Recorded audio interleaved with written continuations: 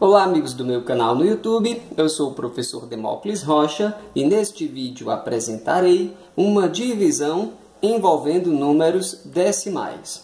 Vamos dividir aqui 0,111 por 0,3. Como que a gente vai fazer isso, professor? Primeiro a gente vai lembrar que toda divisão corresponde a uma fração. Em outras palavras, a gente pode escrever a fração 0,111 sobre 0,3.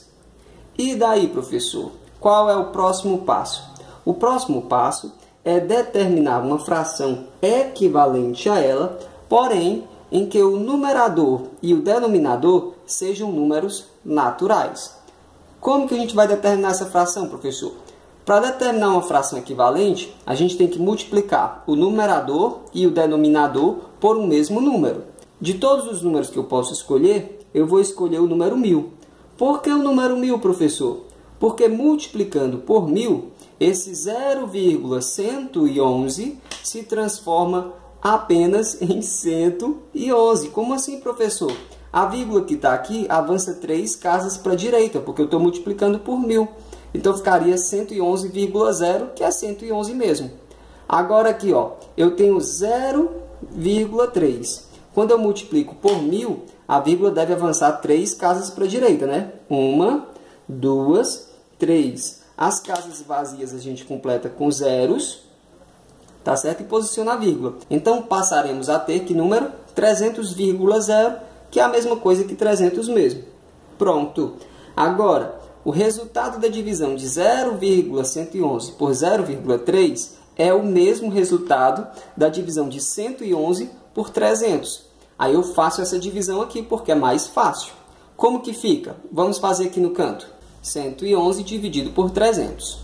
Como 111 é menor do que 300, a gente já pode começar colocando um zero no quociente, porque não dá para realizar a divisão assim do jeito que está.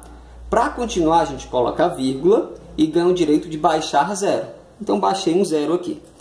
Qual é o algarismo? Qual é o número que multiplicado por 300 dá mais pertinho de 1110 sem passar? É o número 3.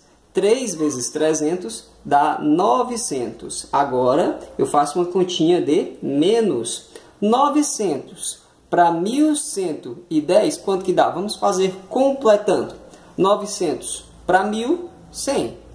Para 1100, mais 100.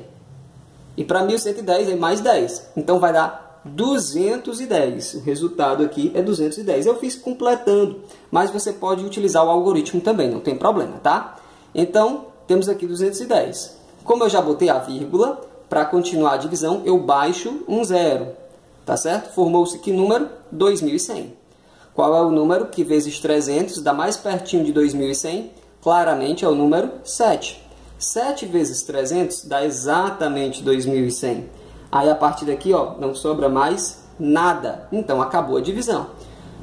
0,111 dividido por 0,3, quanto que dá? Dá igual a 0,37. O pessoal está sempre pedindo que eu faça vídeos né, envolvendo números decimais. Então está aqui uma divisão envolvendo números decimais. Como que a gente resolve? Escrevemos na forma de fração. Obtemos uma fração equivalente com numerador e denominador naturais.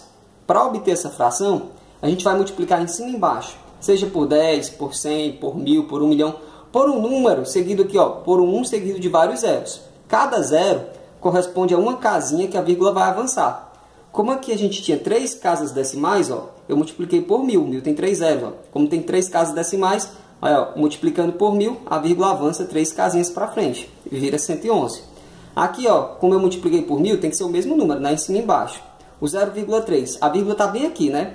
Quando avança três casinhas, ó, as casas vazias a gente completa com zeros, então vira o número 300.